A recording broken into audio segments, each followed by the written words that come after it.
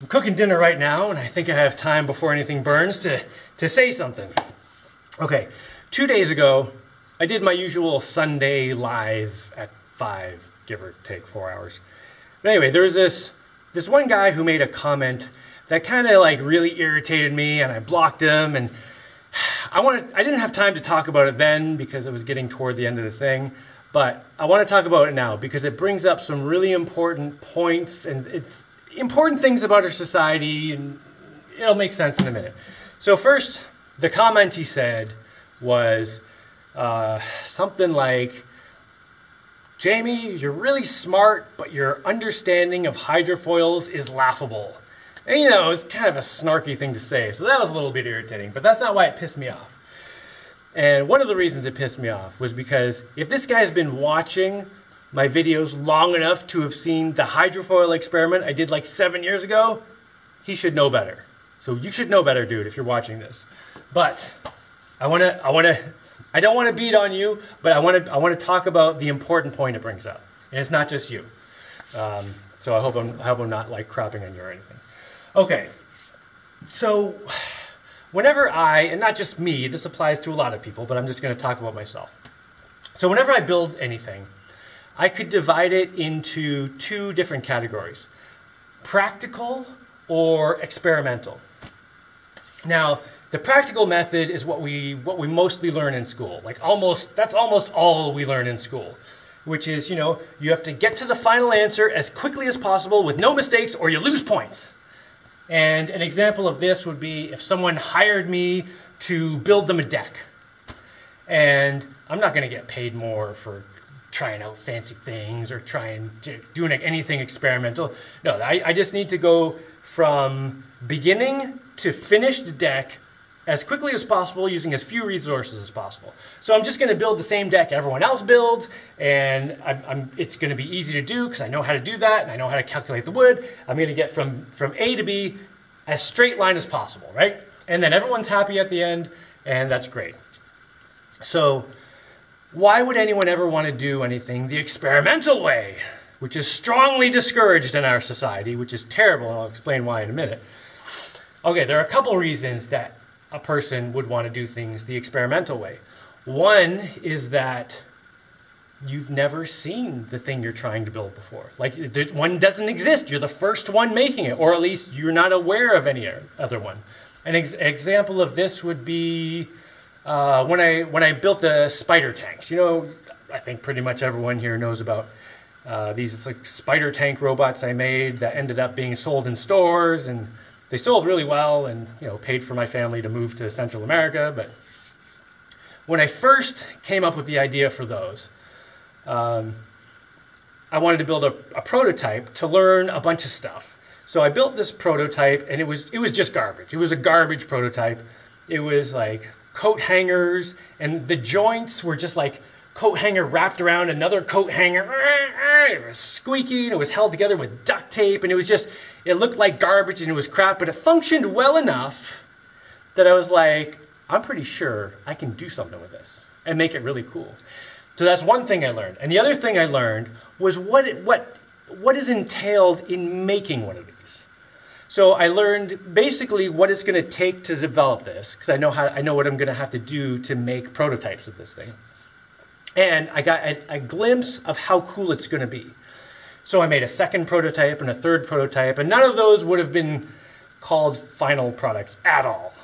But each one taught me a new thing, and you know, I tested limits of things and answered different technical questions. And when I got to the fourth prototype, I was like, all right, now I think I can make a final product that's really good.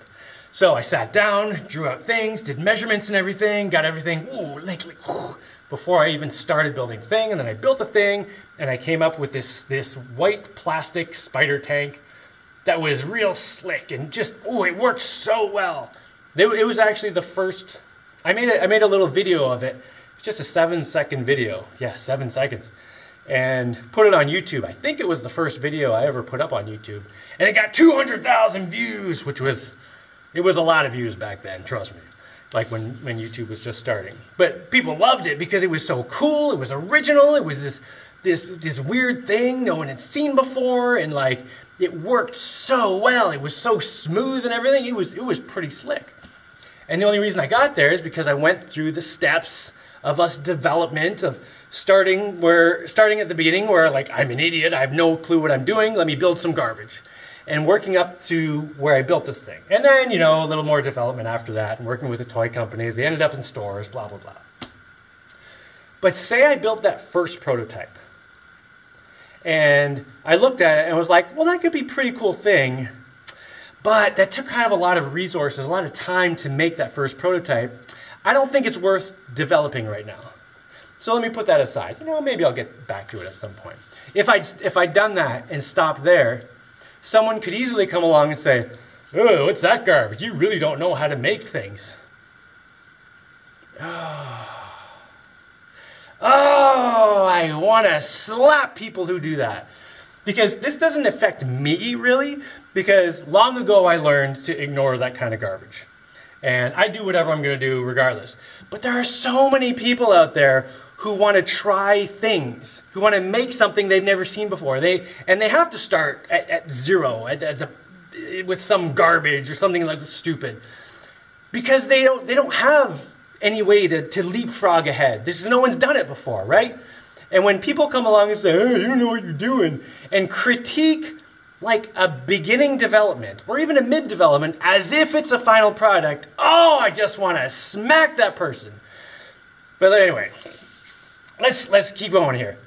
Now, there's another reason you might want to use the experimental method, which is to learn, like learn all the stuff that that people previously had learned to get to the point where they are. And if you start at the beginning of something and you start going through all the development process of something, like start at, at I'm an idiot and go through everything, you're going to find paths that people previously didn't explore. And maybe you'll be like, well, I want to explore this path. And you come up with different things, and you'll often you'll end up with a different final product that, that, that someone else did. And maybe you'll come up with a better final product that someone else did than, than anyone has done before or whatever. You know, it's, it's, it's, how, you, it's how things improve and, and develop. And a perfect example of this, hold on, I gotta check my, let me just, okay, a perfect example of this would be when I started building boats. Now, I, I, I totally had a choice there. There are plenty of boats in the world. I could have just bought a boat, go straight to practical. Quickest way, just buy what someone else has done. Or I could have just, I could have built a boat that's like some, that's just some plans from the internet or, or, or to copy someone else's boat. I could get straight to a final product pretty quickly that way, right?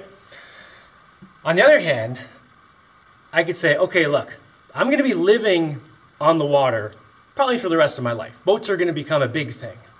If I start development at the beginning, I'm going to learn all this kind of all this, all this cool stuff that I wouldn't learn if I just leapfrogged ahead.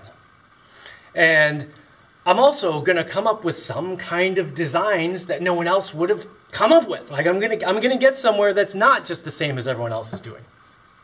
So, the first boat I made, I just spent $200 and made this little catamaran and then I, you know, paddled it around for a while, then I put a sail up on it and sailed around for a couple weeks and then I put this fish tail that was like and flapped and thing and then the first time I tried electric motors with solar panels, I just had these these crappy car fan motors that I found in some place, and they, they were like kind of. It was just this jerry rigged together garbage, and these these junky propellers I made out of fiberglass that weren't very well shaped or anything. But whatever, I was like, this will this will this will give me an idea. And then the solar panels I just laid on the front of the boat precariously, and if if one wave came by, this whole thing would have been wrecked.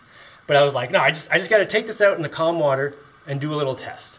And the first time I turned those motors on, I didn't even turn them on. I just held, the, held, held two wires together, twisted them, and was like, okay. And as soon as it started going, I was like, ah, I can do something with this. This solar boat thing can totally be good. Because this, this is just a crappy model. It's garbage, right? Totally garbage. But it's, it's got enough potential, I can see what's going on, and it's going to be worth the amount of the amount of resources it's going to take me to develop this to get it to be something really good.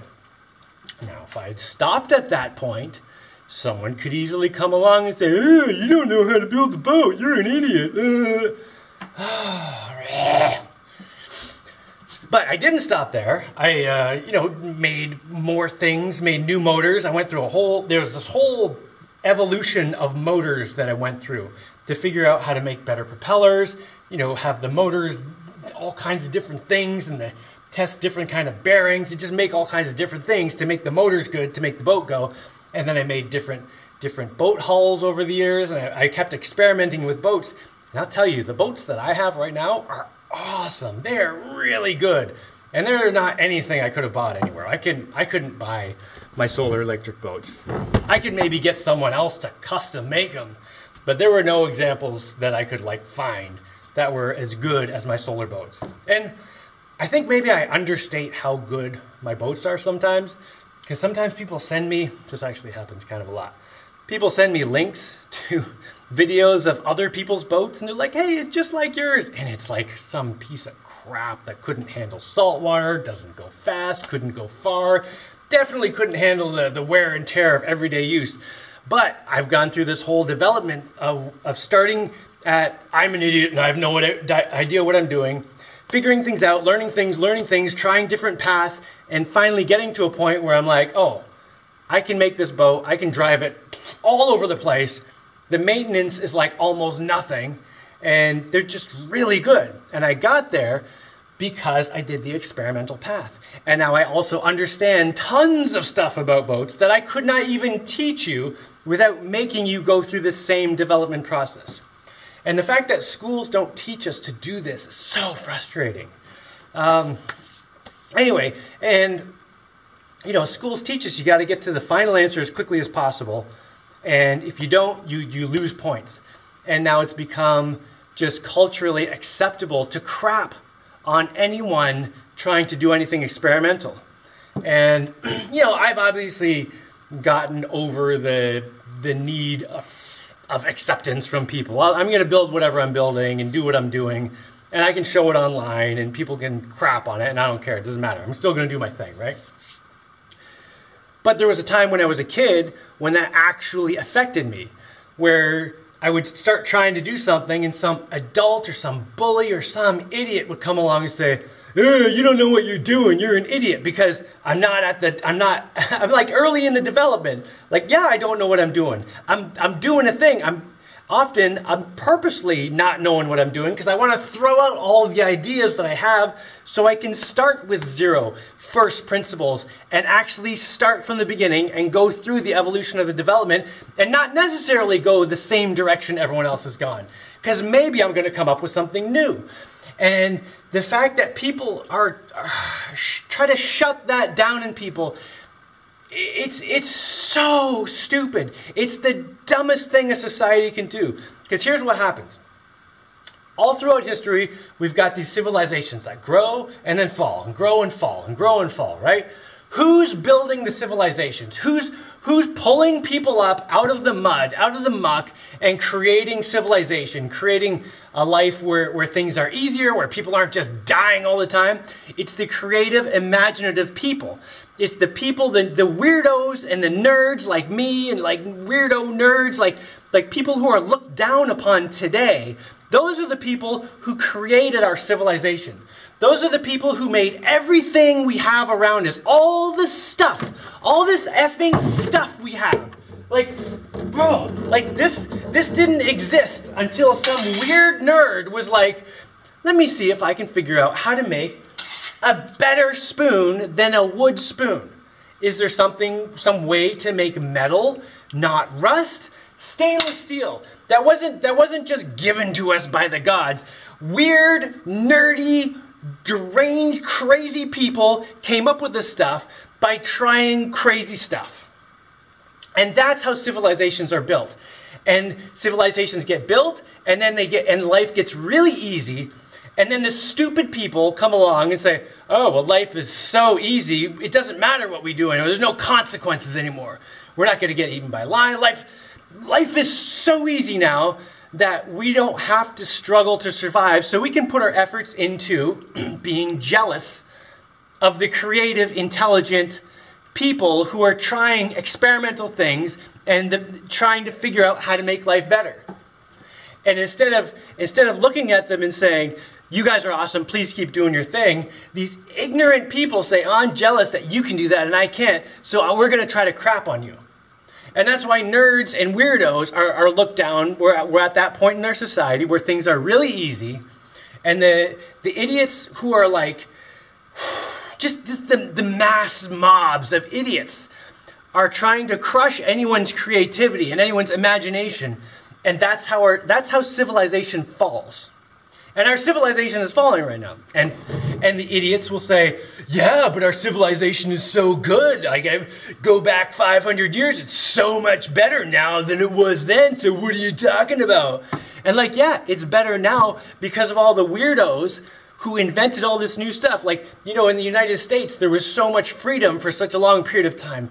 And i don't want to get into who had freedom and who did but there's a that's a whole uh, that's a whole can of worms. But there was enough freedom that people were experimenting with things and trying things and coming up with all this new stuff and creating all these amazing inventions that made life easy for a lot of people everywhere. And not that's not the only place this was happening, but that was one of the major ones. and now we're enjoying all the fruits of all that labor, but our society is going downhill.